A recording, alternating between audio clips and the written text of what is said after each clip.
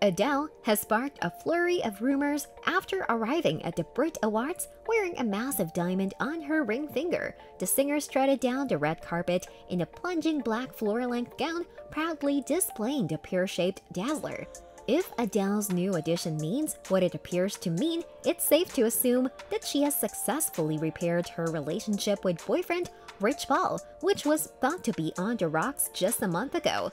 Her new wheel comes on the heels of rumors that her relationship was on the rocks last month. According to reports, one of the primary reasons she backed out of her Las Vegas residency concert was her worsening relationship with Paul, with insiders attesting that she couldn't make it through a rehearsal without shouting and wailing to him over the phone. Following the cancellation of the shows, which enraged fans, a source stated Adele is staying at Rich's place in Beverly Hills, just trying to heal their relationship because things have been tight. They barely saw each other at the start of the month since he was gone on business and she was trying to concentrate on the Vegas show. She was disappointed that he couldn't be there with her when things began to fall apart with the residency, which made things difficult for them both. He needed to be there for her, but he couldn't because he was his own demanding job. According to an insider, the couple had been spending quality time attempting to save things. It was a difficult and stressful moment for her. They are now spending quality time together in order to save things. They adore each other, but it's been a difficult few weeks. This will be Adele's second marriage. She was previously married to Simon Konecki from 2018 until 2021 during which time the couple had a son named Angelo Adkins. Despite their divorce, they appear to be friends, with Adele remarking to Konecki, To be honest, I believe Simon saved my life and came at a time when no one else could have provided me with the steadiness that he and Angelo have. I was so young at the time and I believe I would have gotten a little lost in it all.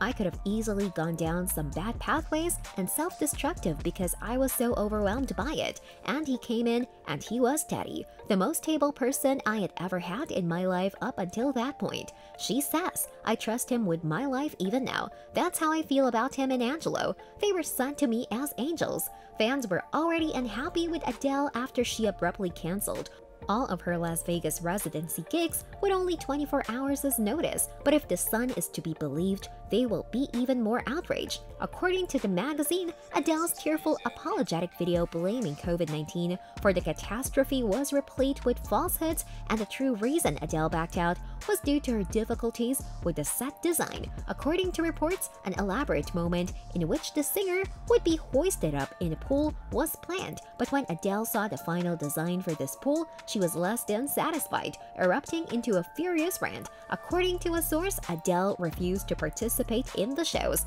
Adele described the pool as a baggy old pond, and she flatly refused to stand in the center of it. The plan was to fill it with water on set as she was pulled up on a crane-like contraption, giving the impression she was floating on water.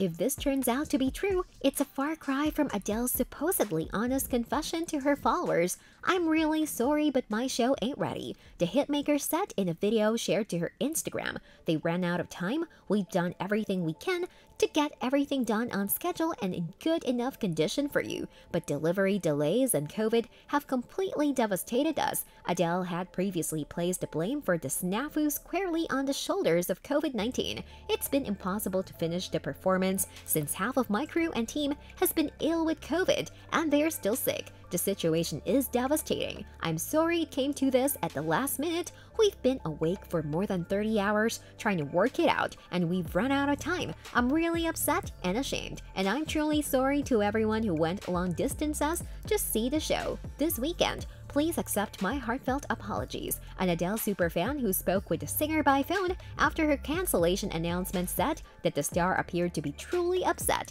in a way, I was consoling her and kind of saying things like, hey, we still support you, we still love you, and we still support you. I tried to concentrate on the positives and the good that was emerging from all of the terrible, anything that might have come over as a result of the awful scenario. And with that being said, it's time to end our video. What are your views about this? Let us know in the comments.